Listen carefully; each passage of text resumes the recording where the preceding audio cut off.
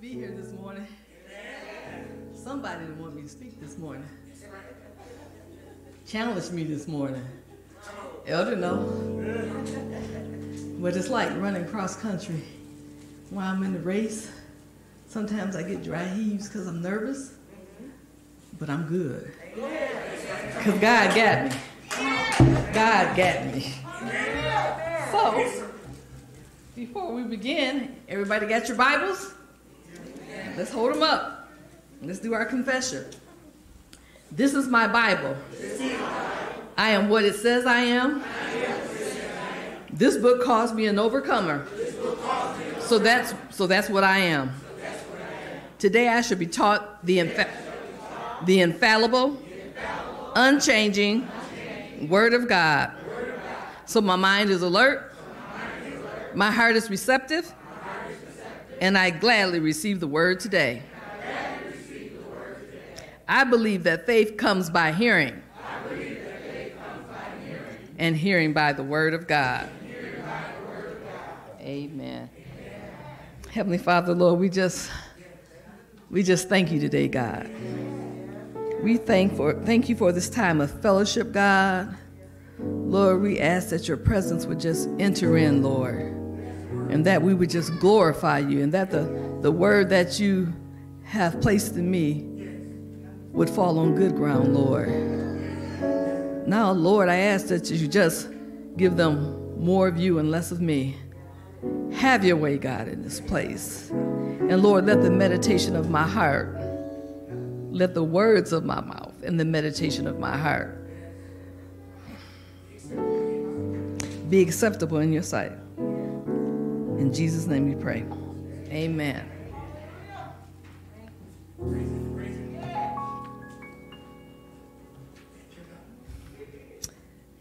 We have been through a lot these past few years. We have been in a pan- pandemic for over two years now, and many have lost their lives as a result of COVID 19. Our nation was shut down basically for the majority of 2020 and part of 2021. And our lives were changed drastically. Never in my wildest dreams could I have ever imagined that many of us would be shut down in our homes working remotely, and others, better known as essential workers, were out there taking a chance with the risk of contracting the virus. We had a president who believed that the virus would magically go away, like Lucky Charms, you know, and, and that we would not be affected. I never imagined that some of us would be in the hospital with COVID, but thanks be to God, we are still here. It seemed like a dream, but it, but it, was, but it was really happening. And, and then the fight continued. There was the fight to obtain toilet tissue, paper towel, disinfectant spray, bleach. Oh, oh, let's not forget the most important thing food. That was the biggest challenge of all. As time has progressed, we find ourselves facing economical strains as well as global challenges.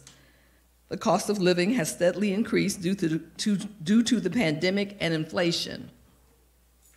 There is a war going on on the other side of the war, world, which seems more like an attack on innocent people in Ukraine, and this is where we are. The Bible speaks about wars and rumors of wars, Many believe that we are in the last days because of everything that's going on. But understand this only God knows the hour and the day when this world will no longer exist. So, in the meantime, let's focus on what God has commanded us to do go out and preach the gospel, the good news about God's kingdom to, to a world who has no clue about who He is. So, personally, how do you feel about that? Are you confident in what you would say to others once the opportunity presents itself for you to witness about Jesus? Do you just hand out a track? Or can you give a true account about having a relationship with Jesus Christ? First and foremost, you need to know who he is, which brings to the title of my text What will you tell them about me? Jesus asked a similar question to his disciples in Matthew 16 13 through 15, New King James Version. And when you have it, say amen.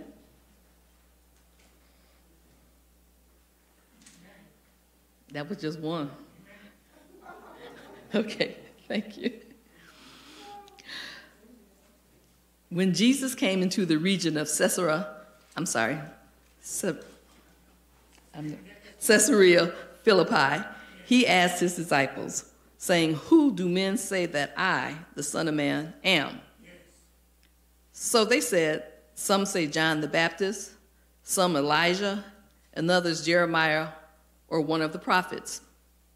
He said to them, But who do you say that I am? So, what can you tell someone about Jesus other than John 3:16?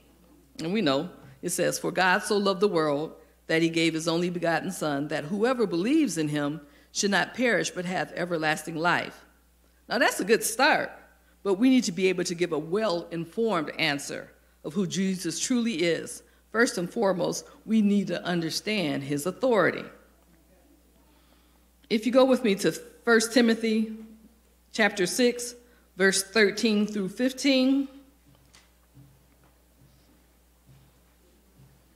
When you have it, say amen. amen. Thank you.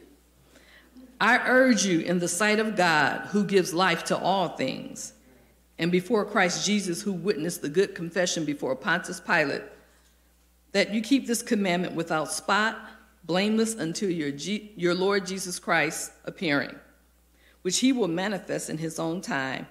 He who is the blessed and only potentate, the King of kings and Lord of lords.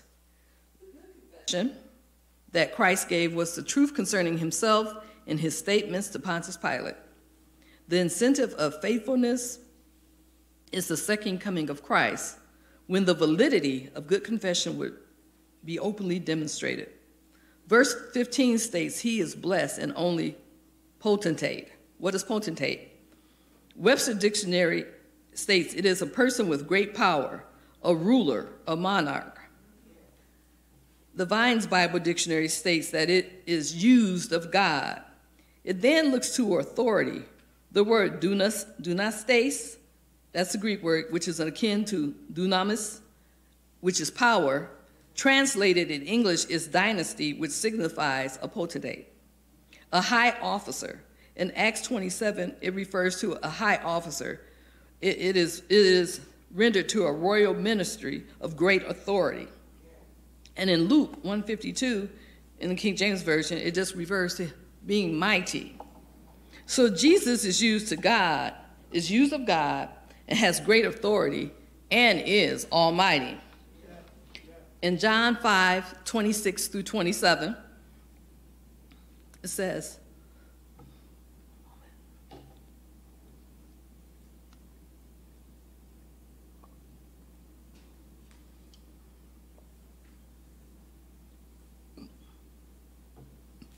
For as, for as the Father has life in himself, so he has granted the Son to have life in himself verse 27, and has given him authority to execute judgment, also because he is the Son of Man.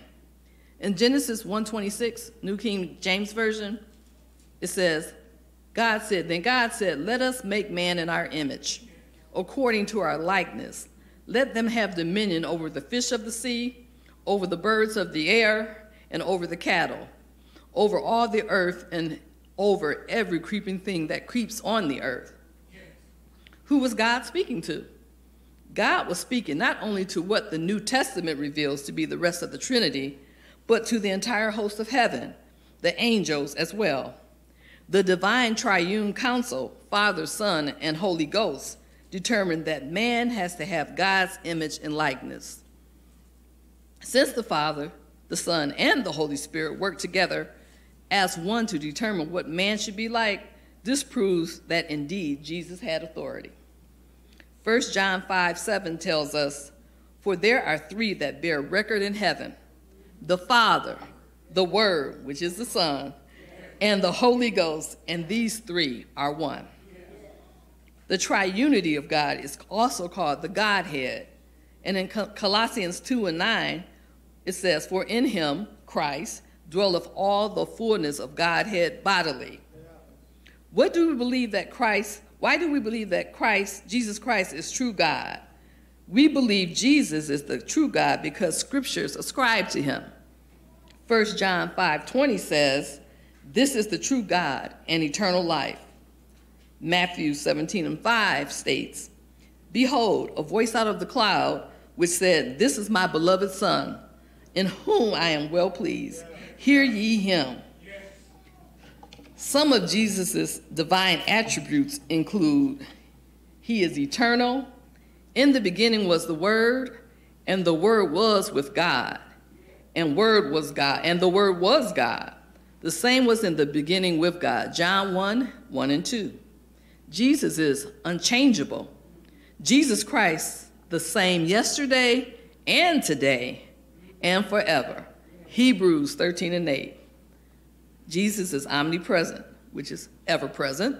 Lo, I am with you always, even unto the end of the world. Amen. And that's Matthew 28 and 20. Jesus is omniscient, he's all knowing. Lord, thou knowest all things. John 21 17. Jesus is omnipotent, all powerful. All power is given unto me in heaven and in earth. Matthew 28 18. There's more, guys. His divine works include creation. You don't have to go to it, you can just note it. In John 1 and 3, his divine works include preservation. You can find that in Hebrews 1 and 3. His divine works include forgiveness of sins, which is in Matthew 9 and 6. Lastly, his divine works include executing judgment, which is in John 5:27. He has one more attribute that I can't bypass. It is his divine honor and glory.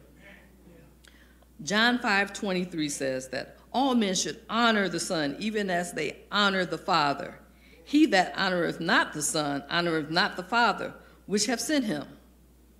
Let all the angels of God worship him. That's Hebrews 1 and 6. So, thus far, we have established that Jesus has the same authority as God, the Father, and we know his divine attributes and his divine works. But we still need more information to witness to the world. Don't be fooled. Everyone will not receive what you have to say but regardless, you still need to give an account of who Jesus is by stating the facts. How does Jesus Christ differ from Mohammed, Buddha, and Confucius?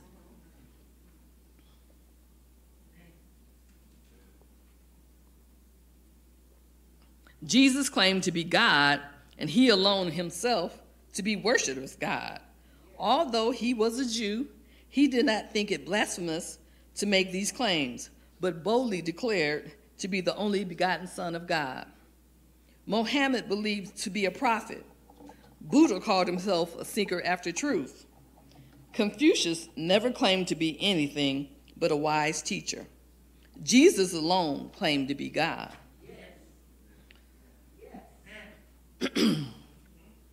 Jesus Christ was not always man, but he became man at the time of incarnation. I know you're probably saying, what is incarnation? Not reincarnation, because you know, that little saying, they think if you die, you come back again. Who wants to do that? Over and over and over again. Not me. so, what is meant by incarnation? It, it means that Jesus, the Son of God, while retaining his divine nature, took upon himself the nature of man, meaning that he left behind his glory, but kept his divine nature. John 1:14 states, the Word, I'm going to paraphrase, the Son of God was made flesh and dwelt, the Greek word means pitched his tent among us, and we beheld his glory. The glory as of the only begotten Son of the Father, full of grace and truth. He was conceived by the Holy Ghost within the Virgin Mary. It had to be this way because the first man, Adam, entered into sin. So God entered into humanity to bring about a second creation, a second man without sin of the of a second man without sin of the male line from Adam. The Holy Spirit brought about conception of virgin, in a virgin girl without the normal reproductive cycle of man. Now that sounds kind of good because, you know, nobody's questioning it, but think about it. The Holy Spirit overshadowed Mary. And without the regular reproductive process, she gave birth to Jesus Christ. The process of incarnation yielded two types of natures to Jesus divine and human.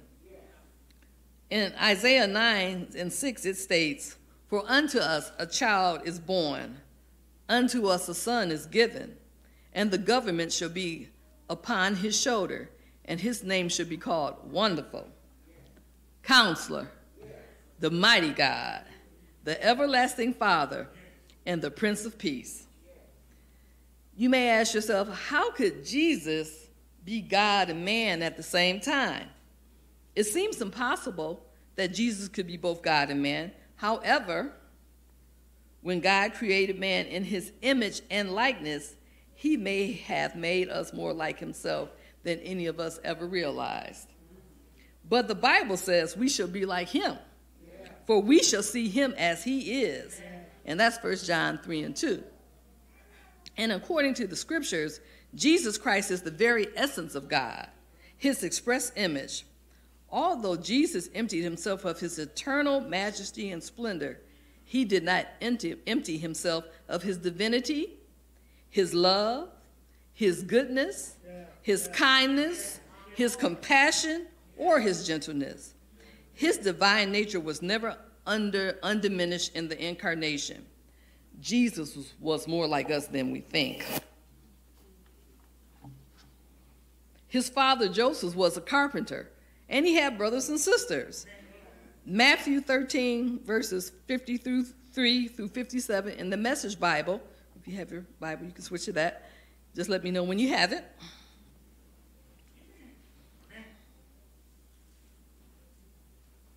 I'll give you a minute. I hear pages.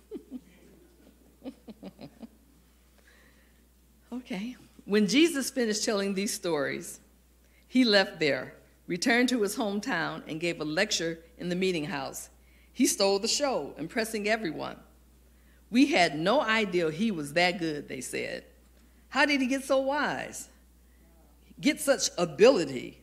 But in the next breath, they were cutting him down.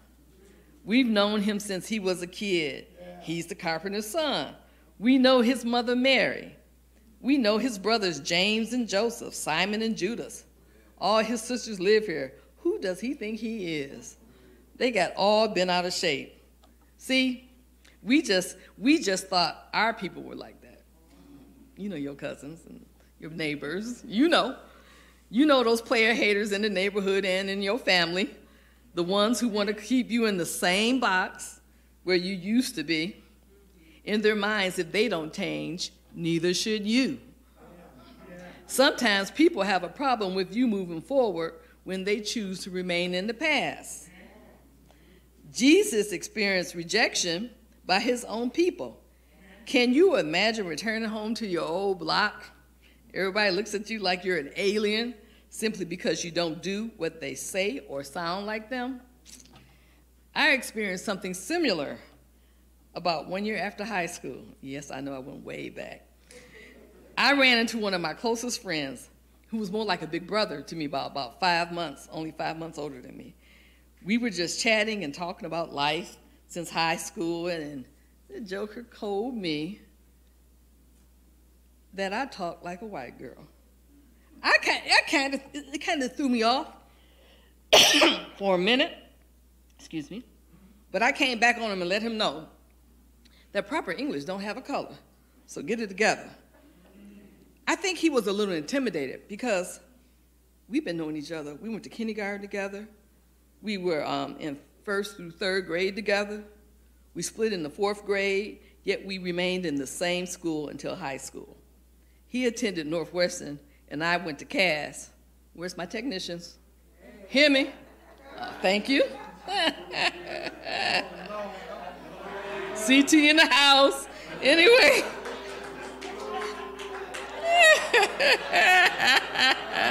Don't play or hate. congratulate, okay? Anyway, truthfully, I just believe he had, we had different experiences and different perspectives. I've known him since I could retain a thought. As a matter of fact, I don't even remember saying, "Hi, my name is Helene," and you're and you're I ain't gonna say his name, but he know who he is. And I have no memory of that because he and my um, his mother and my father grew up in Alabama, so he was really like a brother, and he really kind of protected me like a brother too. So that was different. There was never an introduction, but he always was there. So it hurt a little, little bit because I never expected that from him but I think back to what Jesus said about his own people in Matthew 13 58 in the Message Bible. A prophet is taken for granted in his hometown and his family. He didn't do many miracles there because of their hostile indifference. See, your people, you know, they don't, they don't want to let, let you move on. But you just got to. You got to keep moving. So Jesus had feelings just like we had. Jesus was tempted by Satan in Matthew 4 1 through 10, New King James, I believe. Then Jesus was led up by the Spirit into the wilderness to be tempted by the devil. And when he had fasted 40 days and 40 nights, afterwards he was hungry. Now, when the tempter came to him, he said, If you are the Son of God, command these stones to become bread. But he, Jesus, answered and said, It is written, Man should not live by bread alone, but by every word that proceeds from the mouth of God. Jesus said to him, I got to go back, I'm sorry. Verse 5 Then the devil took him up into the holy city, set him on the pinnacle of the temple, and said to him, If you are the Son of God, throw yourself down, for it is written, He shall give his angels charge over you and in their hands they should bear you up, lest you dash your foot against the stone. Now, see, the devil think he's slick because he used to be in heaven. His name was Lucifer, so he know, he know a lot, and that's how he try to get in, in your head by saying things that sound so good. But the truth of the matter is, if you throw yourself over that, throw yourself off the cliff, that's going to be it. You, you, you can't make it into heaven. So you got to be wise. But I, I think Jesus was getting annoyed by him because in verse uh, 7 he said, It is written again, you should not tempt the Lord your God. Yeah, yeah. In verse 8, again the devil took him up on an exceedingly high mountain and showed him all the kingdoms of the world and their glory. And he said to him, All these things I will give you if you will fall down and worship me. Then Jesus said to him, I think he had had his fill of him, Away with you, Satan, for it is written, You shall worship the Lord your God, and him only you shall serve. In these verses, Jesus experienced a whole array of emotions and feelings. One, he was hungry. Two, he was weak after fasting for 40 days and 40 nights. Three, he probably became annoyed with Satan after attempt, attempt, attempt, after all his attempts to get him to give up what really belonged to him already power, authority, riches, and glory. Lastly, he became angry and commanded him to leave. We have experienced these emotions as well, and we probably didn't respond in kind like Jesus. I'm pretty sure we lost it for a minute and, and let them know what we really thought. We, make, we could have had a Tupac moment. and when to tell them where to go. But here's the difference. Although Jesus was rejected, hungry, annoyed, and angry, he never sinned. Don't get it twisted. He felt it all right, but he responded differently. Jesus went through normal stages of human development. As a child, he played with his his brothers and sisters. Even as a child, Jesus recognized his life was consecrated and he was about his father's business at the tender age of 12. He worked as a, comp- a carpenter with his father Joseph and later went on to, de- to develop a fourfold ministry as mentioned in Luke 252. he increased in wisdom and stature and in favor with God and men. Sure, our experiences are different in some ways, but we still feel the same emotions. Jesus knows what it is like to be tempted. He, know how, he knows how it feels to be rejected. He has felt disappointment when his disciples kept doing the same thing over and over and over again, but he never stopped loving them. And he kept teaching them because he wanted them to get it. He felt anger with the Pharisees because of their evil deeds and their thoughts, everything, every thought, everything they did. He felt it. He became angry when they used the temple as a place of business and conducted money transactions, you know, so yet he still held on to his divinity, his love, his goodness, his kindness, his compassion, and his gentleness his, divi- his divine nature still remained. So now, what can you tell them about him? What can you tell them about Yeshua? That's one of his names. He has so many. Son of man, Son of God, Lamb of God, the resurrection and the life and Bishop of souls, the judge, Lord of lords, man of sorrows, head of the church, master, faith and true faithful and true witness, the rock, high priest, the door, living water, bread of life, the rose of Sharon, and the Alpha and the Omega. Because he did, we can. We have the same power that Jesus raised us, that Jesus, I'm sorry, we have the same power that raised Jesus up from the grave we have the authority to, to speak out against the darkness of fear, sickness, and death. It's Him in us who makes us strong. It's Him in us who makes us brave. It's Him in us who gives us confidence. It's Him in us who gives eyes to see a hopeful future. It's Him in us who allows us not to worry. Don't worry, be happy. It's Him in us who gives us the tools to fight battles bigger than ourselves. It's Him in us who helps us to overcome darkness. It's Him in us who gives us joy even in mourning. So when you feel fearful and panic, overcome by darkness, know that it is in Him. It's Him in us who can tackle and overcome all things, not by our strength, but in His strength in us. Because he did, we can. Blessings to you.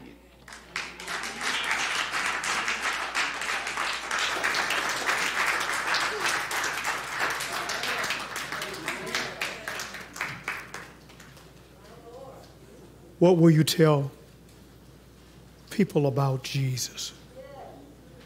And while she was talking, I thought about hopefully it will be something personal what he's done for you, how he brought you through.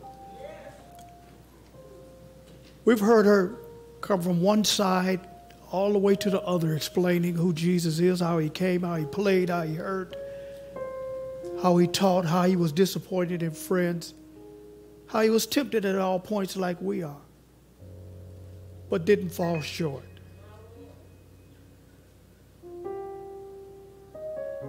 the one thing that I love about him is that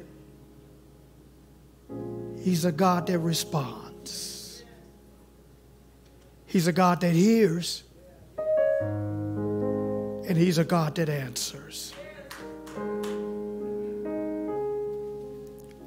That's what I can tell you about him. He is a healer.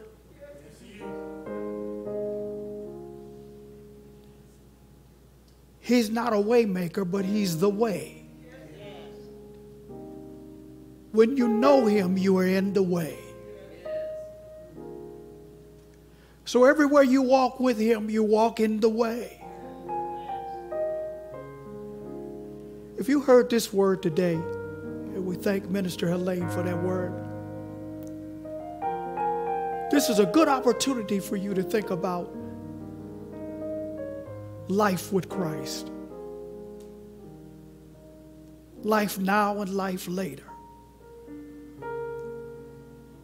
The Bible says, Whoever shall call upon the name of the Lord shall be saved. Invite him into your heart today to be your Lord, to be your Savior. Because out of all of the things he said, one powerful thing is that he loves you. He loves you right where you are. You don't have to dress up to get ready to come to him. He likes you just like you are. And so he invites you to come. All of you that are burdened and heavy laden, and he promised to give you rest. Just come to him. So all of us are going to make a special commitment today, and we're going to say a confession together. And if you are not saved, you can say it along with everybody else. We're not going to single you out. We're all going to say it together. If you're listening to us by way of whatever media outreach, social media outreach, you can say it too and invite Jesus into your heart. Repeat after me Father, in Jesus' name, I repent of sin and I give you my life. Today, Jesus, come into my heart. Be my Lord. Be my Savior. Today, Jesus, I believe in a miracle. I believe that one day you died on the cross. Three days later, you were raised from the dead to the glory of God. And on that confession, and with that faith, I am saved. Amen. Come on, give God praise for that. If you are in this room and you made that confession giving your life to the Lord today, I don't care who you are, again, He loves you just like you are. If you made that confession and you gave your life to the Lord, I'm going to ask you to respond to what I'm going to uh, request you do next. Just raise your hand and say, I gave my life to the Lord today, Pastor. Are you here? Hallelujah. Just lift up a hand. Say, Yeah, I gave my life to the Lord today. Hallelujah. We also want to add maybe you were in church and were out. You want to be restored back to the kingdom of God. It's available to you. If you heard us speak with tongues in this service and you're not filled, you can be filled with the Holy Spirit with the evidence of speaking. It's available to you. If one of those calls are one of those, I already gave my life to the Lord, but I've been out of fellowship. If that's you, lift up a hand. You want to be restored. Jesus' name. Just want to make sure. Want to make sure. Amen. Amen. Give the Lord another good praise. Thank Him for His word today.